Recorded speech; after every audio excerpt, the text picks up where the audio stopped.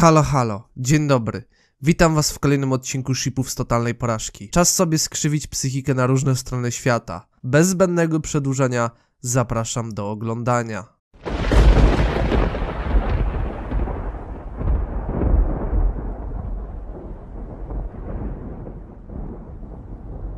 Heather oraz Scott. Gdyby nie Alejandro, to kto wie, może ta dwójka by się dogadała, choć uważam to za abstrakcję pod wieloma względami. To jednak śmiesznie by było zobaczyć tę dwójkę razem. Choć wydaje mi się, że w tym związku spodnie nosiłaby Heather bez dwóch zdań, bo Scott, cóż, no to jest Scott, niewiele można się po nim spodziewać. Następny Dawn oraz Trent. Cóż, słabo znam Dawn, by się na jej temat wypowiedzieć, poza tym, że jest zafiksowana matko ziemią oraz że potrafi się komunikować ze zwierzętami. Poza takimi rzeczami wydaje się ona nieszkodliwa, a wręcz przeciwnie, wydaje się mega w porządku. Z kolei Trent, niegdyś sympatyczny chłop, który potrafił mieć wszystko zamknięte na ostatni guzik i myślał racjonalnie, tak w drugim sezonie się stoczył i jak szybko się pojawił, tak szybko odpadł.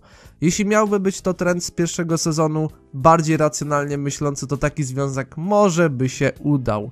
Aczkolwiek jakbyśmy mieli postawić tutaj trenda z planu totalnej porażki, to... No właśnie. Starczy rycia sobie psychiki na jakiś czas. To by było na tyle. Nowe osoby zapraszam do subskrypcji kanału, kliknięcia w dzwoneczek, by otrzymywać powiadomienia o filmach tutaj publikowanych. Zostawcie łapkę w górę lub w dół, jeśli się spodobało, bądź też i nie.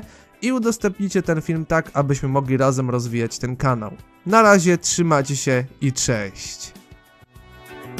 Love it, love it, love it.